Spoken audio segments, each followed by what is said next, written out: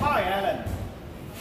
Some of customer when they receive the printer, they need to disassemble the extruder. Can you show us how to do it? Okay.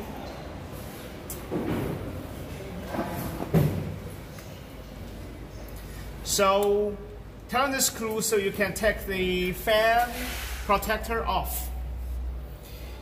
Okay, from the side, you use 1.5 millimeter hex wrench to loose the belt from the side. The fan from the side, a one of the locking bolt. And then you lose the belt on the hot end. So you can pull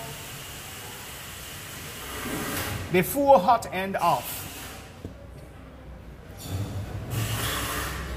And then you can lose and take off the heating tube. Then the this is a thermistor. Okay, by this way you already take off the hot end and use the Allen key uh, so you can disassemble the uh, nozzle. And inside the nozzle, you can see the PTFE tube. Okay, you finish. So now we install it.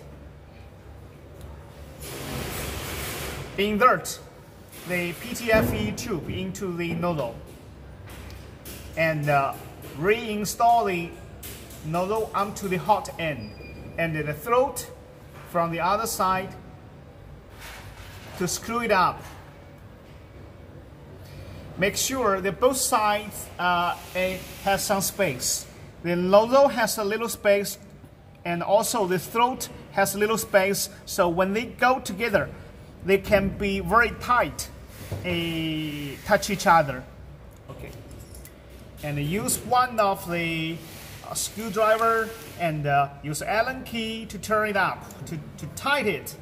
You'll be very tight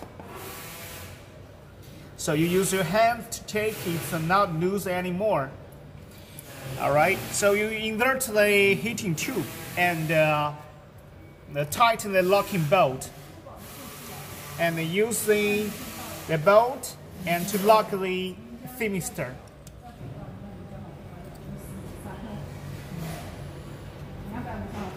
To match the bolt and lock it.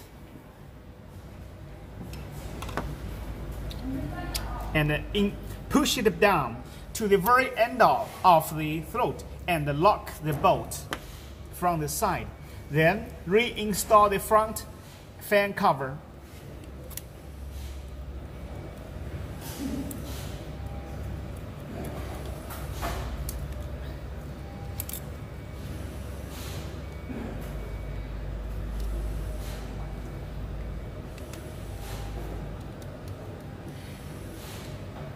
Okay, great. Thank you, Alan.